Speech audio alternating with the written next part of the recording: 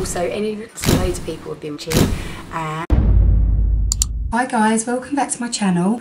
Um, today I want to talk to you about skincare um, and I'm, I'm really interested in face mapping um, and what certain parts of the face mean um, in terms of like your internal organs and how they kind of represent the skin on your face.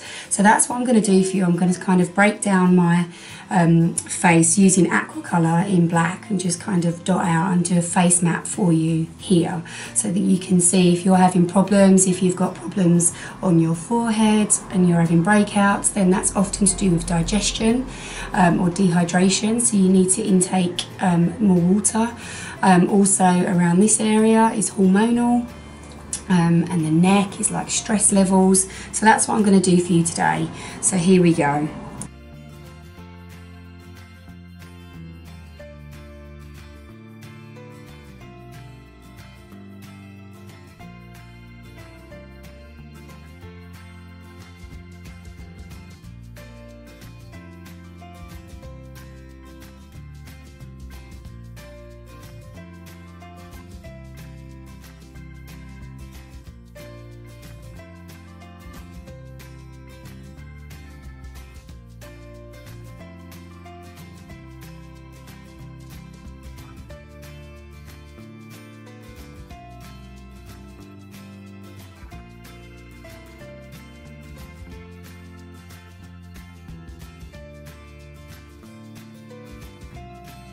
So I've mapped it out, there's 14 sections of the face.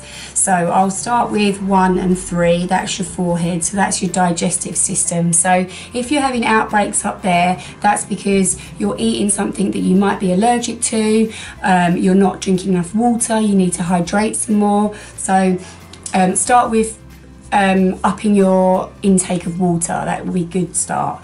Now, number two is known as your wine and dine area. So basically, that denotes your liver. So if you're kind of having too much richness in your diet or alcohol, um, you will break out here. So that's a sign. Stop drinking alcohol or reduce your intake at least. So four and 10 are your kidneys. So um, if you're taking too much caffeine or um, and again you're not hydrating yourself enough. You could get hot ears or dark circles around six and eight so around your eyes. So if you're having too much coffee this is what can cause this um, bad circulation around the eyes. So you need to uh, reduce that a little bit.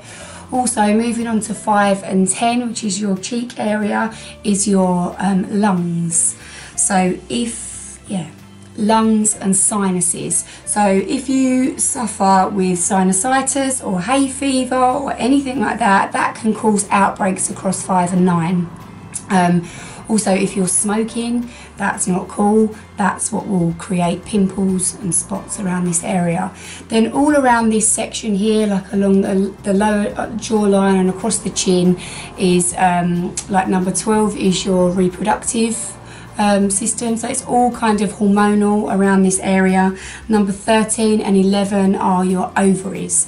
So also I've drawn this circle around the mouth area. If you get spots around the upper lip, um, that denotes your small intestine um, and the lower is um, like your colon. So if you suffer from IBS or yeah any kind of you know colon issues then you'll have outbreaks around the lower lip so that's it. So that's kind of like the whole face. Um, there are so many remedies um, and skincare that we've got available to us from kind of on the high street to like high branded stuff.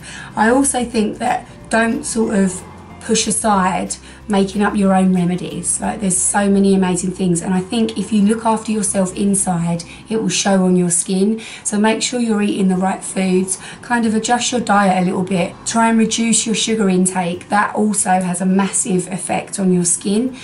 Increase your water, reduce your caffeine I'm never going to give up tea. I love tea, but I do kind of have bouts where I won't drink coffee and I'll juice a lot. Um, I, I do eat fish. I'm a pescatarian. Um, but I don't eat meat um, and I but I replace that and make sure that if you're kind of cutting things out your diet i.e. meat or anything like that that you're replacing it with other foods for me I eat a lot of lentils and a lot of green iron rich foods um, yeah so I hope that kind of gives you a little bit of insight other than me looking crazy with like drawn on numbers all over my face but I'm really intrigued by it and I think that there's so much to to sort of learn about the skin and I think it really does come from within so if you kind of look after yourself and what you're eating and kind of cut out processed foods like McDonald's, um, Burger King, all that kind of stuff, KFC. Um, I just don't feel like they're real foods. So there's so much sugar in all of those foods. You shouldn't hidden sugars that we don't know about. So I know it is. It feels like a little bit of a you know, like a little bit more drama to prepare your own food and stuff but honestly it does go a long way and you will kind of reap the benefits of good skin so I hope this has been insightful don't want to sort of push anything onto you I'm not telling you to be a vegetarian or to totally like radically change your diet but just be aware of what you're putting in because obviously it's going to come out. So and if it's coming out on your skin and you've got problems that you want to address then maybe look at that first. And then think about little remedies that you can make up. I know that if you get I do this myself, get an avocado, get it out of the shell, smash it down into a bowl, you'll see the oils coming out, which is amazing. Put all that all over your face, leave that on for 20 minutes. It's such a good natural remedy. Costs like, what, 80 pence to do it. Um, so it doesn't have to be expensive for you to look after your skin and drink more water.